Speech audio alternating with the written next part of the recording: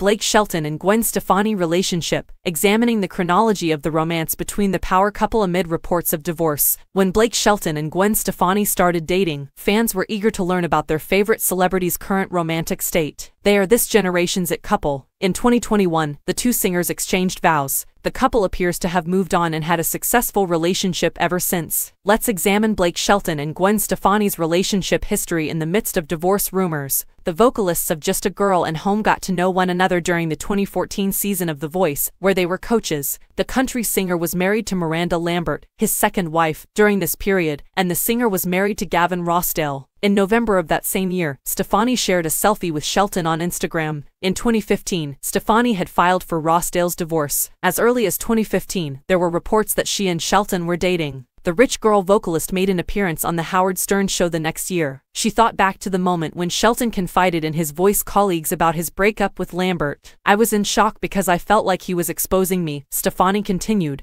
and I just couldn't even wrap my head around it. The singer chose to confide in Shelton about her own marital issues with her ex-husband since she felt a deep connection to him. Stefani stated that they began to connect with each other more deeply after she opened up to the country artist about her marriage difficulties. That was just unbelievable that God would put us in a position to have each other at that exact moment, the woman remarked. We started this friendship, but according to Today, she did state that she had no plans to date Shelton at the moment.